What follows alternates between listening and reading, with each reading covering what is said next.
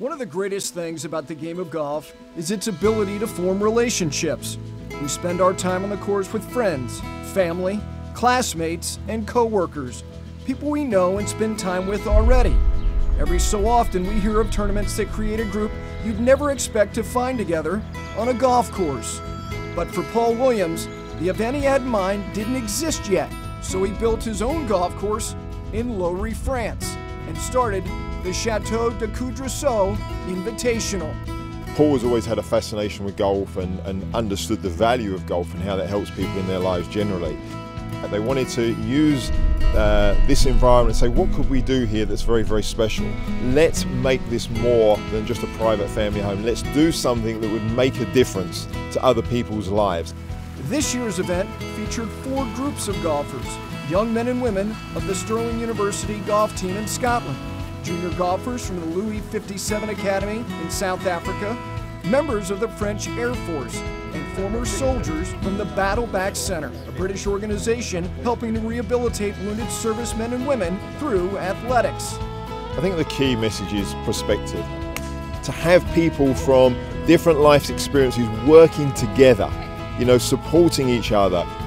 We bring that human factor into it, life experiences, golf experience, put them together and help each other. The Invitational consists of two rounds of competition. On the first day, members of these four vastly different groups come together to compete as a team in an 18 hole Stableford format, creating an impacting energy on the student golfers. Just to hear their backgrounds and what they've been through, and then they're still just standing up and still living their lives. It's just amazing. Just an insight into a world that we don't really know as students. Just bringing us all together through golf is obviously a great way of doing it. was playing one of the holes and we started chatting about how, how, how the guy we were playing with, Bernie, lost his limbs and as a golfer we were worrying about missing that six foot putt when really in the bigger picture it doesn't really mean anything. Well, I just think it's that storytelling because we ask them all questions about what they've been up to, what they've seen, what they've done, and then they ask them questions back. So I think it's just what that one big long education.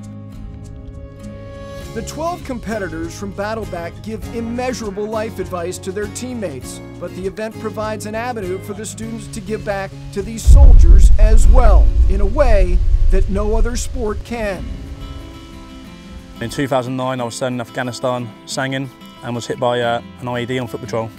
Picked golf up after the incident. I met a few guys at Headley Court who played it, said come along to the driving range, and just, just fell in love with the game. You get a bit of competitiveness back we're playing guys who are playing off two and scratch, and we, we got a chance to beat them. It's fantastic.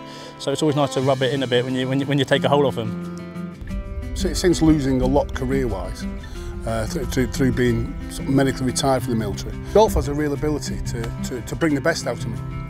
So even though there's some people there who it's like watching people play golf on TV, actually on a good hole I can compete with them I hope that they can see that when guys get injured, there's, more to it than being injured, and they, they can achieve a lot more. And, and although golf is a, a fantastic thing, because when I play, I feel able-bodied. So I hope that they feel that I'm not disabled when I'm playing them. We're just we're just we're just normal normal guys, different backgrounds.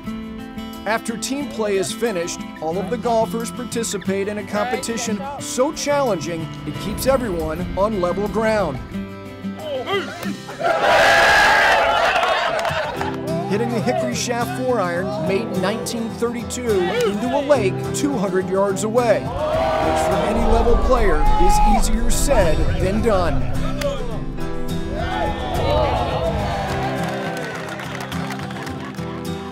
The second day of competition concludes with individual play, allowing the elite golfers from Stirling and the Louis 57 Academy to hone their skills on the challenging Chateau venue But at the end of the day, the message of the event remains clear to all of the participants.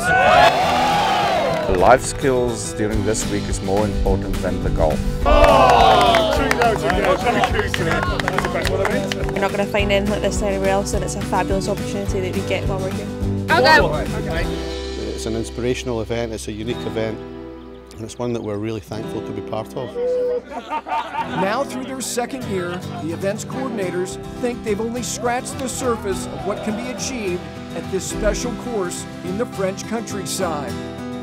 We'd love to get you know, the American wounded soldiers part of this event, some American students part of this event, and then really it immediately takes on some kind of Ryder Cup type scenario that would add to the atmosphere of the event dramatically, and we would love to see that happen. That's the next step. It's an event that continues to grow, just like the number of global relationships formed on the course. Ready? Yes,